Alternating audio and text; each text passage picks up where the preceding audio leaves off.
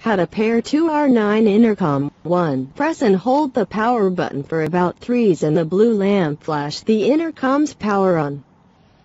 2. Press and hold the intercom's button A for about 5s until the red and blue lamp flash alternately. That means the intercoms enter pairing mode. 3.